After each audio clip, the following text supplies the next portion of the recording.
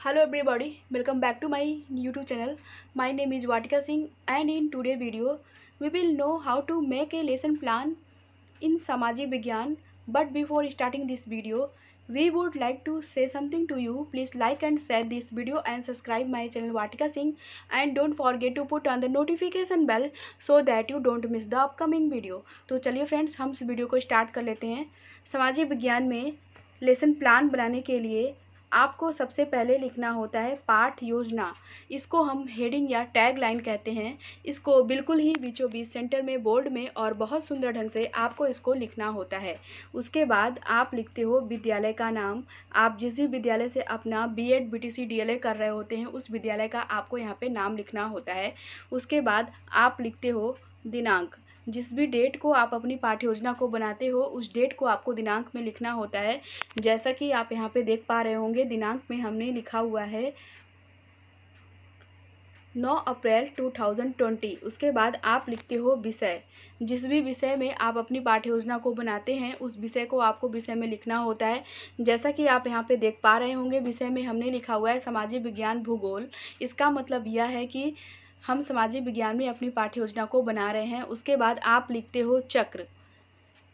Teaching करने के दौरान जो भी बच्चों को पढ़ाने के दौरान जो भी पीरियड आपको दिया जाता है बच्चों को पढ़ाने के लिए, उसी पीरियड को आपको चक्र में लिखना होता है।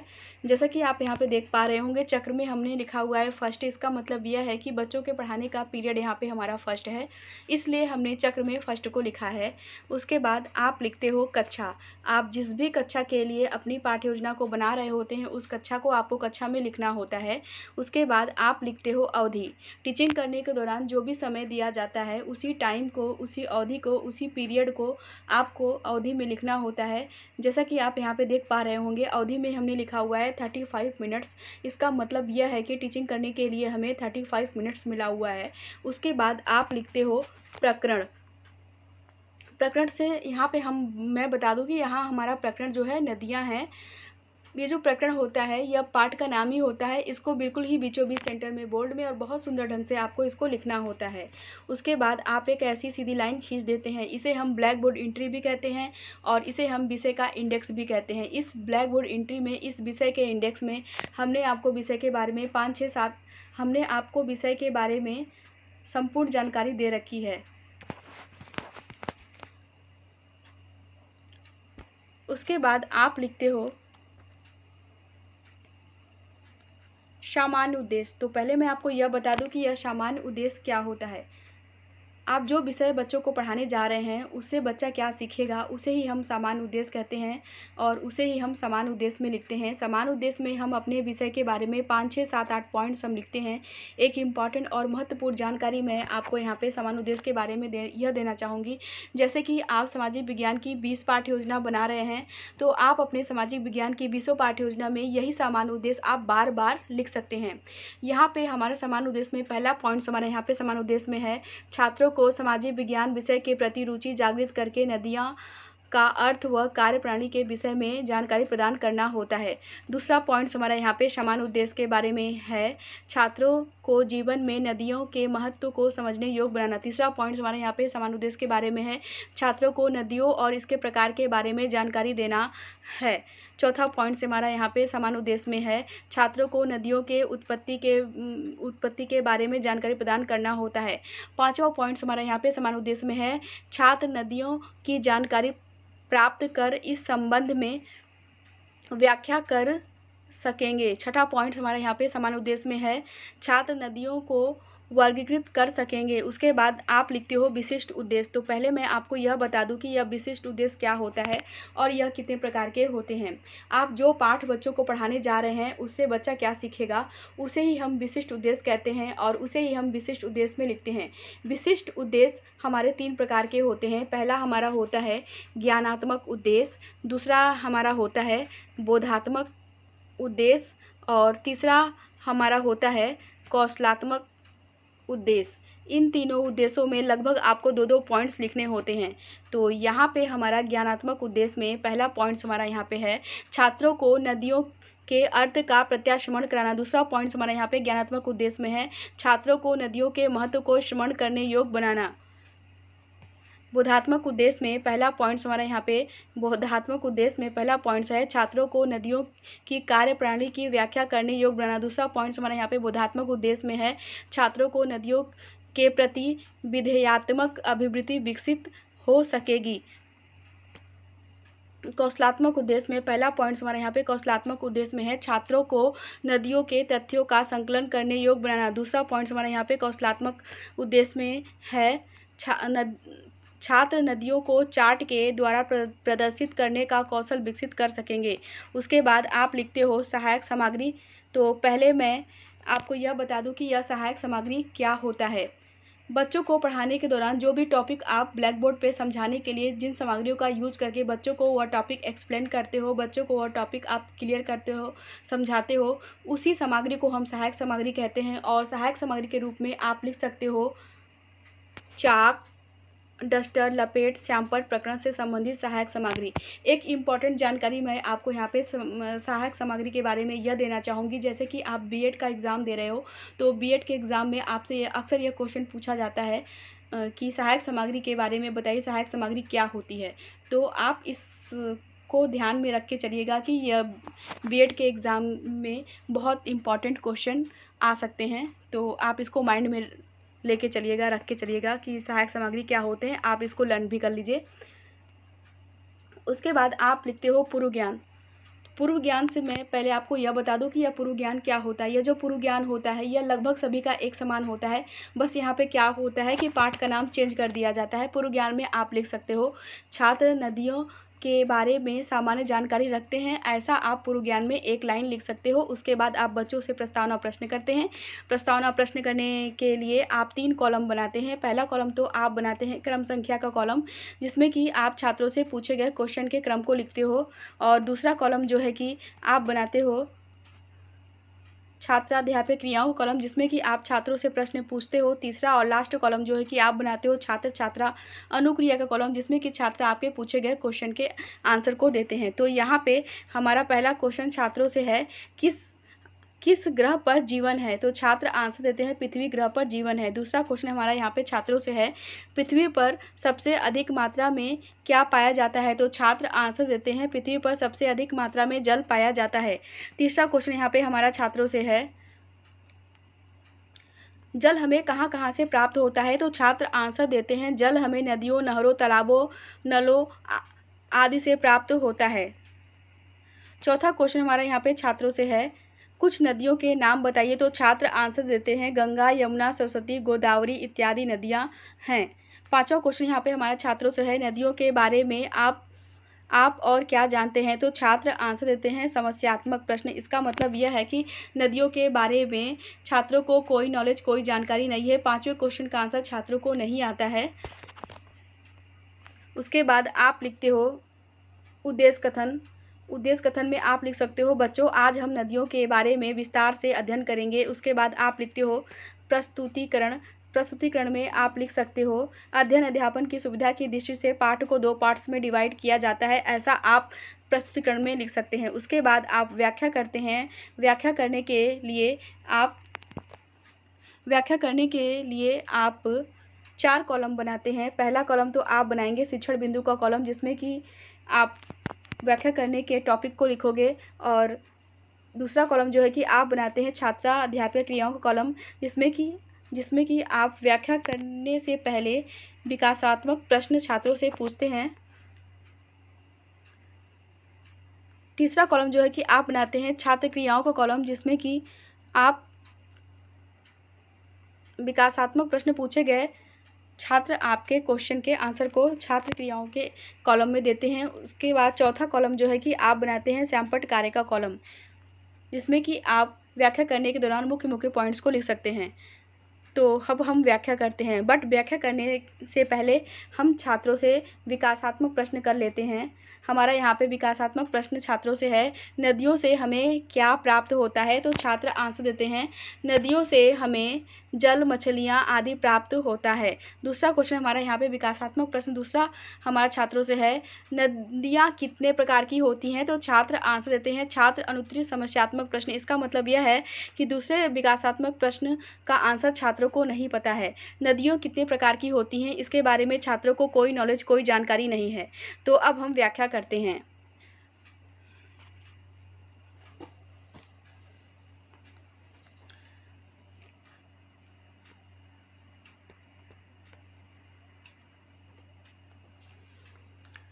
नदियों में प्रवाहित जल की मात्रा ऋतुओं ऋतुओं के अनुसार घटती बढ़ती रहती है। नदियों में जल की मात्रा उसके अपवाह क्षेत्र में होने वाली वर्षा, बर्फ़ के पिघलने, बर्फ़ के पिघलने की दर तथा उस, उसमें प्रवाहित जल की मात्रा के आधार पर नदियाँ दो प्रकार की होती हैं। पहला सतत वाहिनी नदियाँ। ये नदियाँ हिम से ढके पर्वत से निकलती हैं, जिससे इन नदियों में वर्ष भर जल की मात्रा पाई जाती है। दूसरा असतत वाहिनी नदियाँ। वे नदियाँ जो शुष्क रहती हैं अथवा ग्रीष्म ऋतु में सूख जाती हैं। इन नदियों में केवल वर्षा ऋतु में ही जल प्रवाहित होता है। जब नदी अपने उद्गम स्थान से निकलती है और मुहाने तक आती है, तब इन नदी घाटियों को क्रमशः तीन भागों में बांटा जा सकता है। पहला ऊपरी घाटी युवा अवस्था, दूसरा मध्य घाटी पौधा अवस्था, तीसरा निचली घाटी, वृद्धा अवस्था। व्याख्या करने के बाद श्यामपटकार के कॉलम में हम मुख्य पॉइंट्स के रूप में हम श्यामपटकार में हम लिखेंगे।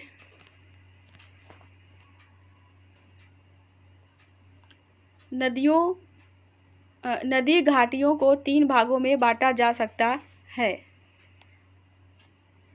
पहला, ऊपरी घाटी युवा अवस्था, दूसरा मध्य घाटी पौधा अवस्था, तीसरा निचली घाटी वृद्धा अवस्था। नदियाँ नदियाँ दो प्रकार की होती हैं। पहला सतत वाहिनी नदियाँ, दूसरा असतत वाहिनी नदियाँ।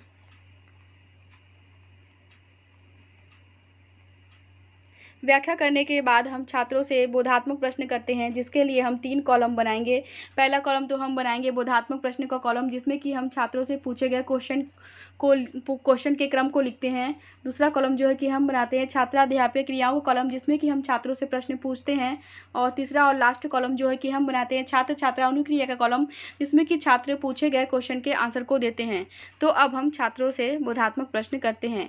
यहाँ पे छात्रों से बोधात्मक प्रश्न हमारा पहला है, नदियों में जल प्रवाहित किस आधार पर घटती बढ़ती है। नदियों में जल प्रवाहिता किस आधार पर घटती बढ़ती है? तो छात्र आंसर देते हैं, नदियों में जल प्रवाहिता मौसम के आधार पर घटती बढ़ती है।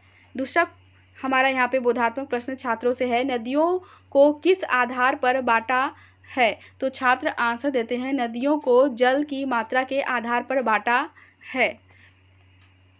बोधात्मक प्रश्न छात्रों से करने के बाद हम फिर से व्याख्या करते हैं, जिसके लिए हम, जिसके जिस, जिसके लिए हम फिर से वही सारी प्रोसेस को दोहराएँगे। हम व्याख्या करने के लिए फिर से चार कॉलम बनाएँगे। पहला कॉलम तो हम बना देंगे, शिक्षण बिंदु का कॉलम जिसमें कि हम जिस टॉपिक पे व्याख्या कर रहे हैं, उस टॉपिक को लिखेंगे और दूसरा कॉलम जो है कि हम बनाते हैं छात्रा अध्यापिका क्रियाओं का कॉलम जिसमें कि हम व्याख्या करेंगे बट व्याख्या करने के पहले हम छात्रों से बोधात्मक प्रश्न करेंगे। तीसरा कॉलम जो है कि हम बनाते हैं छात्र क्रियाओं का कॉलम जिसमें कि छात्र हमारे पूछे गए क्वेश्चन के आंसर को देते हैं। चौथा और लास्ट कॉलम जो है कि हम बनाते हैं श्यामपट कार्य का कॉलम जिसमें कि जिसमें कि हम व्याख्या करने के दौरान मुख्य मुख्य पॉइंट्स को श्यामपट कार्य में लिखेंगे। तो अब हम व्याख्या कर लेते हैं।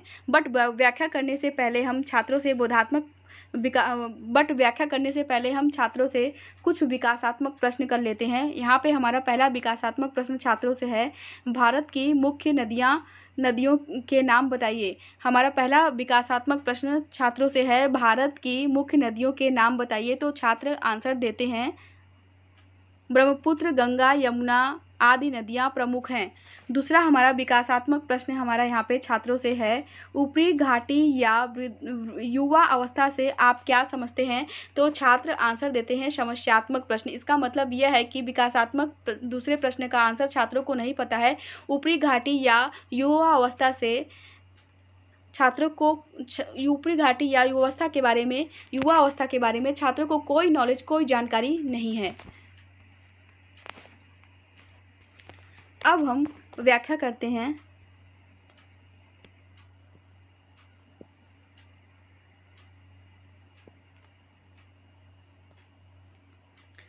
ऊपरी घाटी नदी, ऊपरी घाटी नदी, ऊपरी नदी घाटी या युवा अवस्था में नदी घाटी के ऊपरी भाग में नदी का जल जल खड़े ढाल पर अत्य, अत्यंत तीव्र वेग से गिरता है। इस भाग में नदी की अपर्दन गति बहुत तेज होती है। इस भाग में नदी काफ़ी ऊंचाई से गिरने के कारण लंबवत अपर्दन करती है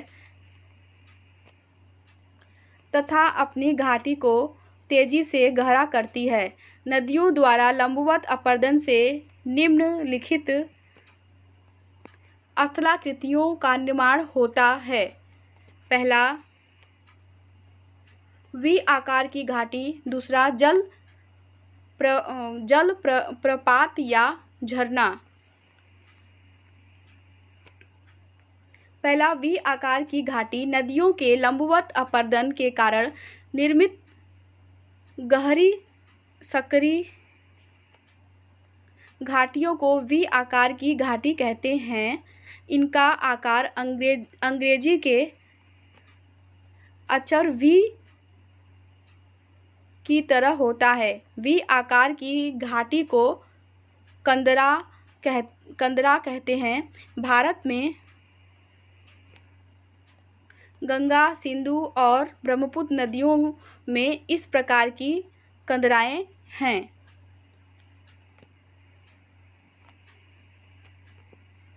व्याख्या करने के बाद हम श्यामपट कार्य में मुख्य पॉइंट्स के रूप में हम श्यामपट कार्य में, मुख्य पॉइंट्स के रूप में हम श्यामपट कार्य में लिखेंगे, मुख्य बिंदु, ऊपरी नदी घाटी में जल अत्यंत तेज वेग से गिरता है।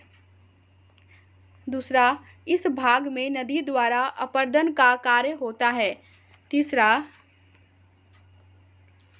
इस अपर अपर्दन से भी वी आकार की घाटी तथा जल प्र, प्रपात या झरना बनता है।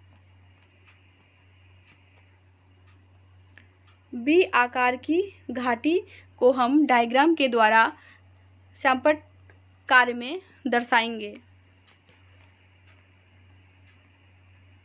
व्याख्या करने के बाद हम छात्रों से बोधात्मक प्रश्न करेंगे। बोधात्मक प्रश्न करने के लिए हम तीन कॉलम बनाएँगे। पहला कॉलम तो हम बनाएँगे बोधात्मक प्रश्न का कॉलम, जिसमें कि हम छात्रों से पूछे गए क्वेश्चन के क्रम को लिखेंगे। दूसरा कॉलम जो है कि हम बनाते हैं छात्राध्यापक क्रियाओं का कॉलम, जिसमें कि हम छात्रों से प्रश्न पूछेंगे। तीसरा और लास्ट कॉलम जो है कि हम बनाते हैं छात्र छात्रा अनुक्रिया का कॉलम, जिसमें कि छात्र हमारे पूछे गए क्वेश्चन के आंसर को देते हैं। तो हमारा यहाँ पे बोधात्मक प्रश्न में पहला क्वेश्चन हमारा छात्रों से है, ऊपरी घाटी को और किन नाम से जानते हैं? तो छात्र आंसर देते हैं, ऊपरी घाटी को युवा अवस्था नाम से भी जान, जानते हैं। दूसरा क्वेश्चन यहाँ पे हमारा बोधात्मक प्रश्न में छात्रों से है वी आकार की घाटी कैसी होती है? तो छात्र आंसर देते हैं वी आकार की घाटी ऊपर से चौड़ी परंतु तली में सकरी होती है। छात्रों से बोधात्मक बोधात्मक छात्रों से बोधात्मक प्रश्न करने के बाद हम छात्रों को गृहकार देते हैं। गृहकार के रूप में हम छात्रों को दे सकते हैं, बच्चों, आप सब पढ़ाया गया पाठ याद करके आइएगा और वी आकार की घाटी का चित्र सहित वर्ण अभ्यास पुस्तक में लिख कर आइएगा। ऐसा गृहकार हम छात्रों को दे सकते हैं। अगर आपको हमारा यह लेसन प्लान पाठ योजना अच्छा लगा तो आप कमेंट करके हमें बताइए कि आपको हमारा यह पाठ योजना, यह वीडियो अच्छा लगा और आप हमारे इस वीडियो को लाइक करिए, कमेंट करिए और शेयर करिए। और मैंने इस पाठ्य योजना की लिंक डिस्क्रिप्शन बॉक्स में दे रखी है, वहाँ पे मैंने आपको इस पाठ्य योजना की ड्राइव लिंक, ब्लॉगर लिंक और ट्विटर लिंक तीनों लिंक आपको इस बार पाठ योजना की दे रखी है। आप वहाँ से इस पाठ योजना की लिंक को डाउनलोड करके इस पाठ योजना को देख सकते हो और इस पाठ्य योजना में अगर आपको कोई भी दिक्कत होती है, कोई भी प्रॉब्लम होती है या कोई क्यूरी मुझसे पूछना हो या कोई क्वेश्चन आपको मुझसे पूछना हो तो आप कमेंट सेक्शन में मुझसे क्वेश्चन पूछ सकते हो या आप डायरेक्ट मुझे मेल भी कर सकते हो और मैं आपके पूछे गए क्वेश्चन के आंसर को दूँगी। तो अगर आप हमारे चैनल में नए हो तो प्लीज़ आप हमारे चैनल को सब्सक्राइब ज़रूर कर लो। साथ ही साथ बेल आइकन को प्रेस ज़रूर कर लीजिएगा ताकि मैं जब भी कोई अपना कोई नया वीडियो अपलोड करूँगी तो उसकी नोटिफिकेशन उसकी अपडेट आपको जल्द ही मिल जाएगी, जिससे कि आप हमारे आने वाले किसी भी नए वीडियो को मिस नहीं कर पाएँगे। तो अब हम आपसे फिर से मिलते हैं अपने नेक्स्ट वीडियो के साथ, तब तक के लिए बाय बाय